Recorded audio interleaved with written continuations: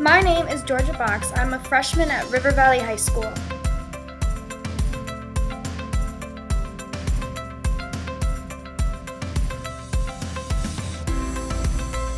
Many people have the issue of setting clothing items down on the washer or dryer and coming back only to find that they had fallen behind or to the sides of the washer.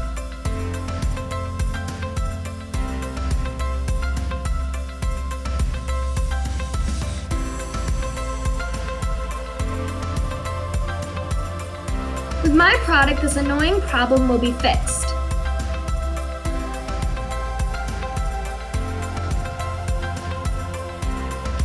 My product is called the Laundry Net, a product that will stick to the sides of the washer or dryer with a net that curls up slightly to catch the clothes that fall.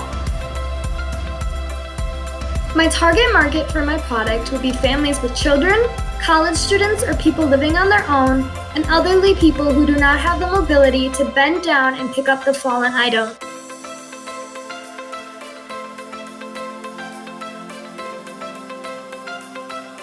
With my type of product, my distribution places would be Walmart, Target, and possibly Menard.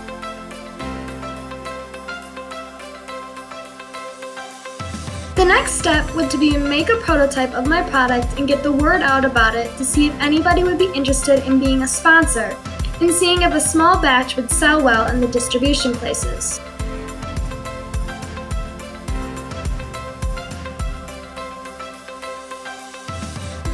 Thank you for watching. I hope you enjoyed my presentation as well as my product.